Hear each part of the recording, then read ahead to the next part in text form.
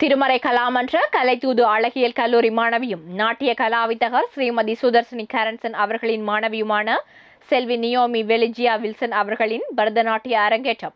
பத்தொன்பதாம் திகதி சனிக்கிழமை இன்று யாழ்ப்பாணம் வீரசிங்க மண்டபத்தில் நடைபெற்றது.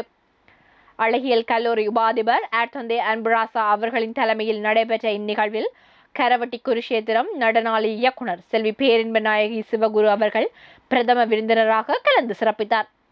செல்வி நியோமி வெல்ஜியா வில்சன் அவர்கள் கலைத்தூது அழகியல் கல்லூரியில் நடனக்கலையை பயின்று. அரங்கேற்றத்தை மேற்கொள்கின்ற எட்டாவது மாணவி என்பதும் குறிப்பிடத்தக்கது.